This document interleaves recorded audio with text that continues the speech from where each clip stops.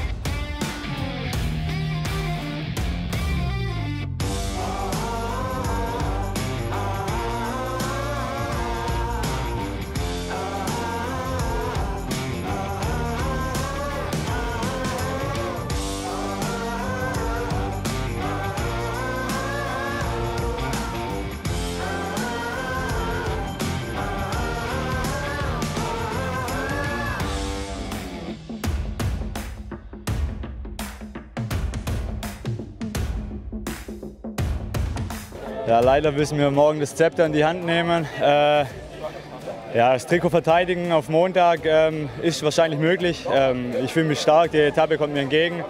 Ähm, aber für uns steht natürlich klar im Vordergrund das Gesamtklassement mit Patrick Schelling. Und ähm, ich werde mich da auch komplett in, die, in, den Dienst von der Mannschaft stellen. Werde das sagen, äh, werde das machen, was man zu mir sagt.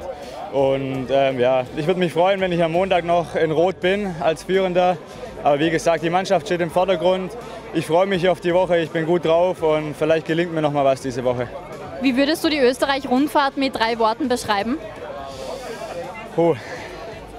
Hart, geil und schön. Start der Ö-Tour war gleichzeitig auch Start deines Online-Shops.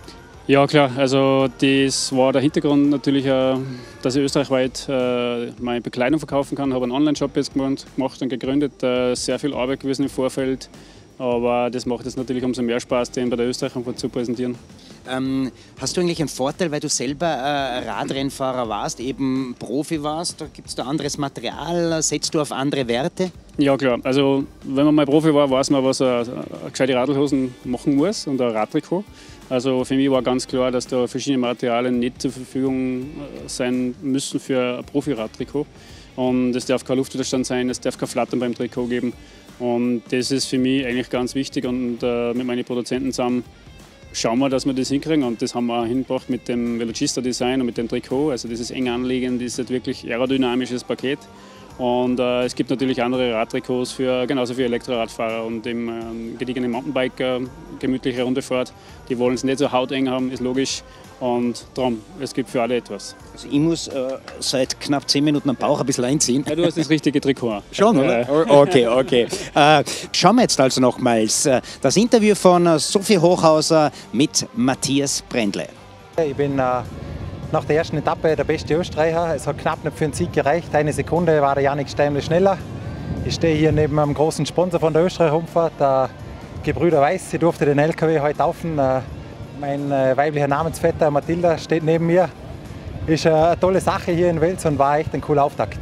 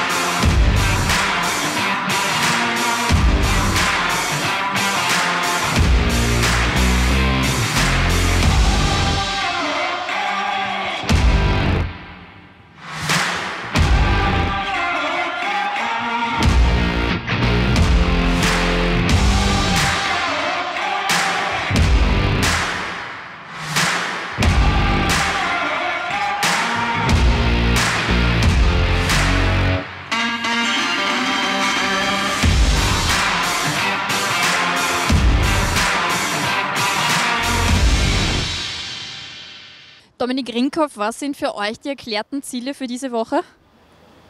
Ja, also wir haben vorhin gesagt, wir wollen eine aktive Rundfahrt fahren.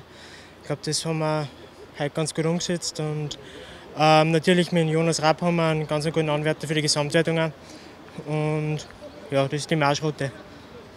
Jetzt sind drei World Tour Teams am Start, viele Kontinentalteams, einige Pro Tour Teams. Wen siehst du als den klaren Titelverteidiger? Ist es vielleicht doch nochmal Ben Hermanns oder wer ist der stärkste Gegner in deinen Augen? Ähm, ich denke, dass äh, es sind ein paar wirklich sehr starke Leute da. Also Carlos Betancourt ist ein richtiger Profi und Ben Hermanns hat gesagt, dass er das gut kann. Der Ricky Zuel ähm, hat es schon mal gewonnen und hat ein richtig starkes Team. Es hätte gestern der Tag werden können und sollen und für ihn selber eigentlich müssen von Matthias Brendle, aber da ähm, kam ihm leider eine Matte der Zeitnehmung, ähm, ja, nicht unbedingt äh, positiv entgegen und äh, die hat die gute Form von Brendle gestoppt und Martin Böckle hat ihn gestern am Abend noch im Krankenhaus besucht und da hören wir jetzt einfach mal rein über den Gesundheitszustand bzw. wie es Matthias Brendle geht. Ein Lächeln ist wieder vorhanden, äh, so blöd das Ganze ist. Der Glück im Unglück muss man sagen. Äh, es ist zwar an der Schulter oder Schlüsselbein gebrochen, aber wie geht es dir jetzt? Ja, nein, es geht mir schon gut. So Sachen gehören einfach dazu manchmal im Sport. Das hat heute sicherlich niemand mit Absicht gemacht. Äh, ich denke, Österreich Rundfahrt will äh, das sicherstmögliche machen für die Sportler heute mit dem Regen, mit dem allem. Ich weiß nicht, hat der Klebe irgendwie nicht so gebunden auf der Straße und das Ding hat sich gelöst. Auf einmal war das vor mir auf der Straße, ich konnte nichts machen, habe dann einen Überschlag gemacht. Zuerst habe ich gedacht, super, ist nichts passiert. Gemütlich abgerollt über die Straße, wo ich mich dann mit der Schulter abstürzen stützen wollte, habe ich dann schon gemerkt, da ist irgendwas nicht okay und jetzt Röntgen hat es bestätigt, das ist das rechte Schlüsselbein, aber das werden wir morgen wieder richten im Feldkirch und dann passt es schon wieder. Stefan Rabic und Matthias Gritzek vor dem Start der zweiten Etappe Zwettel-Wiener Neustadt. Matthias, heute fahren wir in unsere Heimat sozusagen in die Nähe. Bist besonders motiviert? Ja, auf jeden Fall. Schöne Gegend, Wiener Neustadt das Ziel. Äh, wird sicher auch anspruchsvoll, lange Etappe, aber Wetter passt heute, also voll motiviert. Und ähm, Stefan, morgen geht es dann in die Steiermark, da bist du wahrscheinlich am Zug. Ja, genau. Also heute darf noch der Matthias seine Sprintkünste auspacken und morgen dann kommt meine Etappe. Also da bin ich top motiviert. Wird zwar nicht einfach, ich kenne sie zwar sehr genau die letzten 60, 70 Kilometer. Schauen wir mal, was, ja, was ausschaut, aber auf jeden Fall einmal für mich ist das Hauptaugenmerk auf morgen.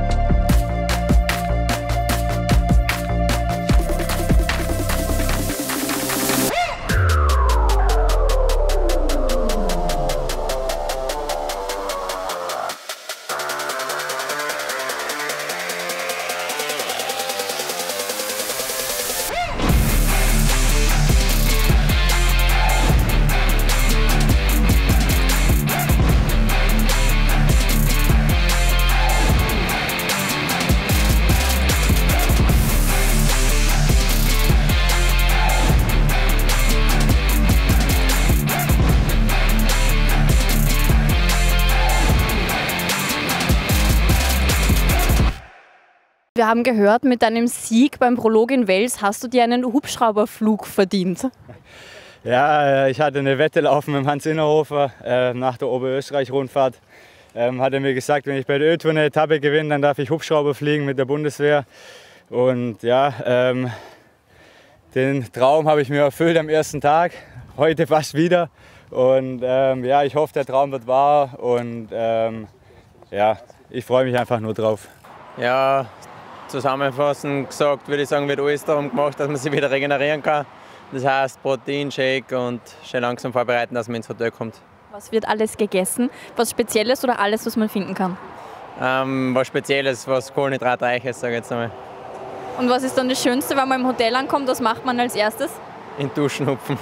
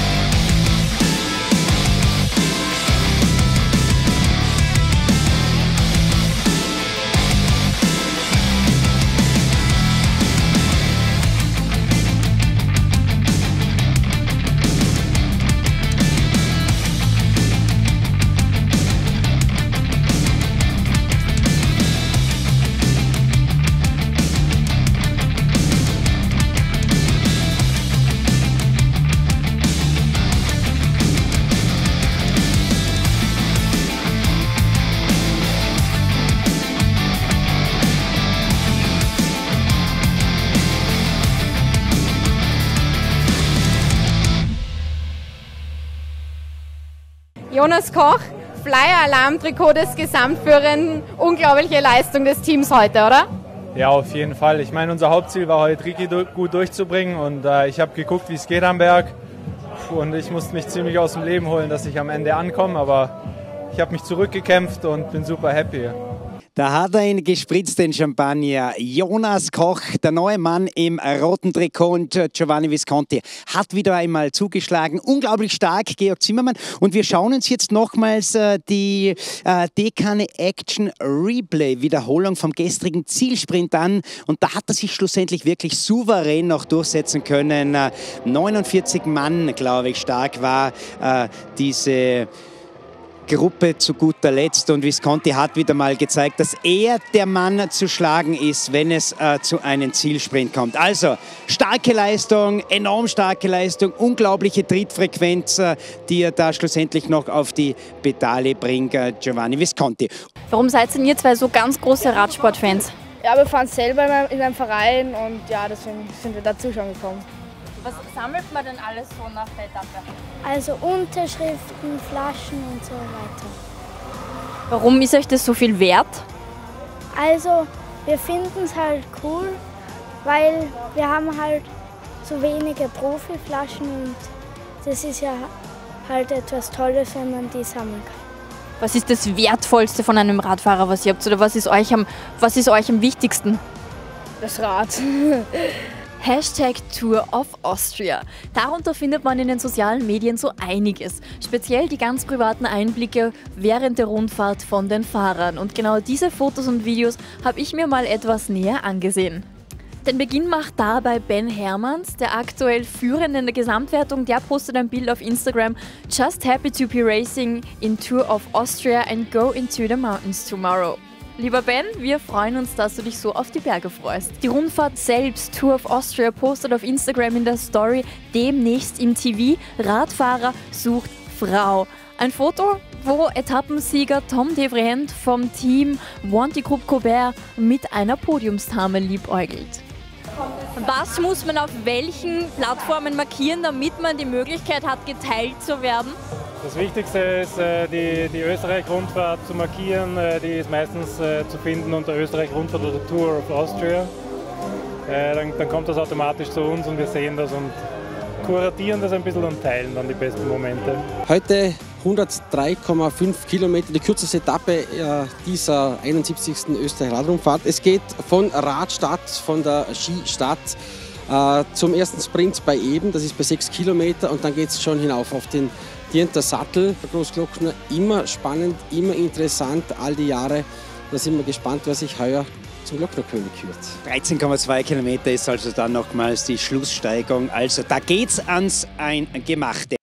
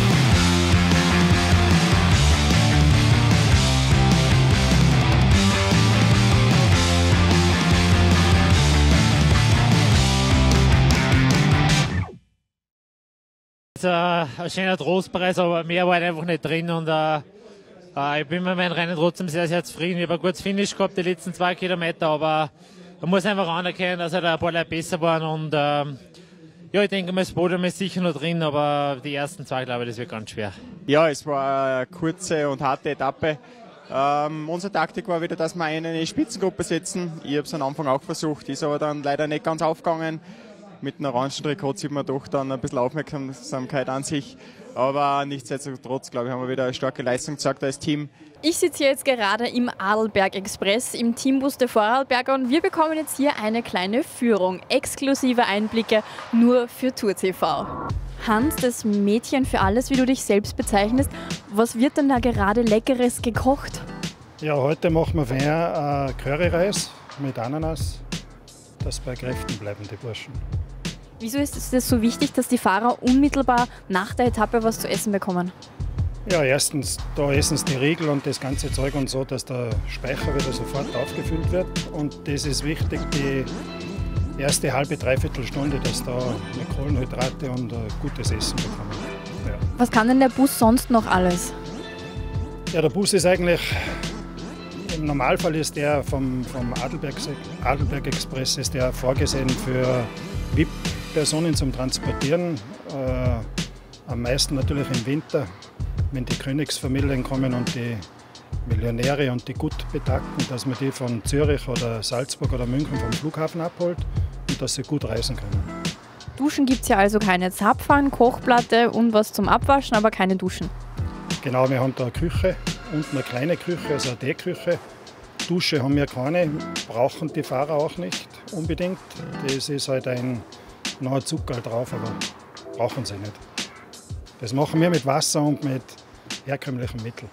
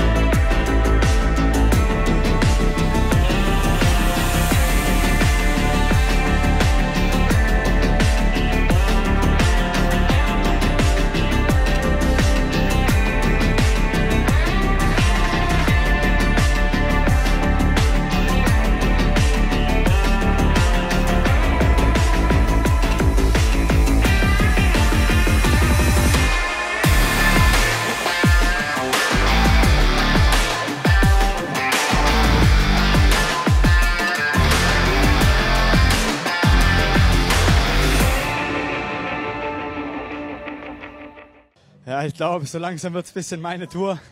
Ähm, nee, also ich glaube, nach dem Ziel hat man gesehen, was ich für Emotionen heute hatte. Äh, ich habe alles rausgeschrien, was ich konnte.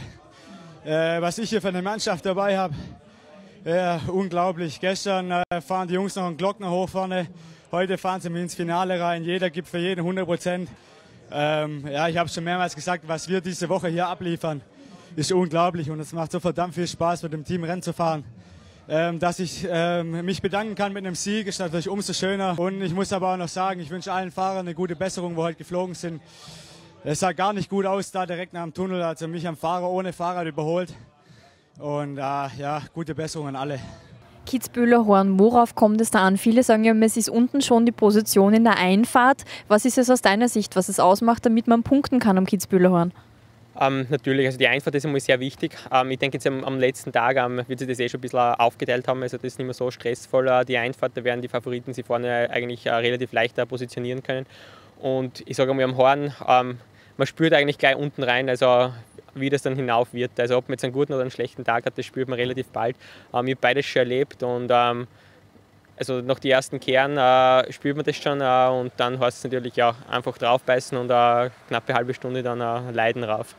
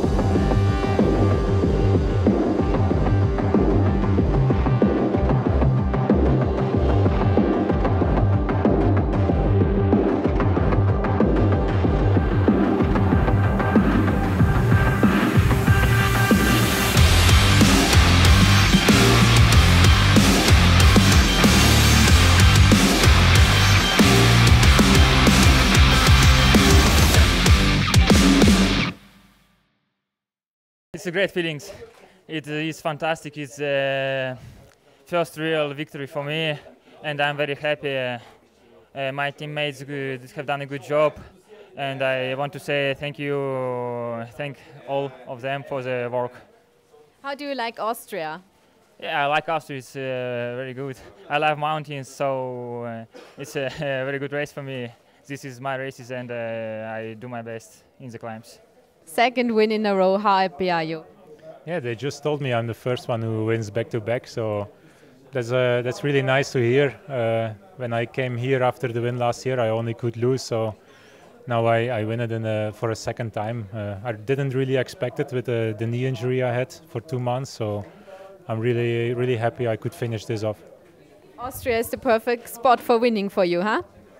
Yeah, I, I always perform pretty good here. It's the fourth time I I race here, and I, I finished three times on the no four times on the podium actually, um, four times in top ten. So yeah, it's pretty good. Also Innsbruck last year, the World Championships were good. So I like to race on these roads, and uh, yeah, it's also for me it's less stressful to race here and not to fight for every corner to be in the front, and that's why I'm not racing in Belgium too much. and the Kitzbühel Horn today was also very good for you. Yeah, um, actually, it, it, doesn't really suit my type of a rider because I'm more than 70 kilograms, and if you then uh, weigh in the 50s, yeah, you you you are a better climber on this steep climb. But uh, still, I I finished here uh, for the third time in in top 10 also. And uh, yeah, last year I could win. I think last year my form was a little bit better than now, but uh, I still uh, I'm happy I I could hold the guys off. Yeah. And next year, come back to Austria? Maybe, uh, maybe the Tour de France, but this chance is not so big. So it's uh, or the Tour or Austria normally. Sophie Hochhaus ist ja für uns immer wieder unterwegs, schaut nicht nur hinter die Kulissen, sondern plaudert auch mit den Sportlern. Und äh, ja, das Interview also mit Matthias Brendle. Ah, okay, ich muss äh, seit knapp zehn Minuten am Bauch ein bisschen einziehen. Ja, du hast das richtige Trikot. Schon, oder? Okay, okay. Das war eine unglaubliche Geschichte äh, von Meierhofen nach Venedig mit Tommy Rohrecker Simplonrad damals mit seiner Übersetzung. Wir sind ja auf Facebook, während andere schon im Instagram und überall unterwegs sind. Das ist unserem Alter geschuldet. Ja. Mit äh, Daya Quintana, mit Schönberg, mit Scott Davis und Enrico Gasparot. Mit Rinkhoff, der äh, gleich am Anfang attackierte, Daniel Auer von den Bushbikers. Damit verabschieden wir uns. Martin Böckle, Michi Nussbaumer, Stefan Steinacher. Servus für Gott und auf Wiedersehen.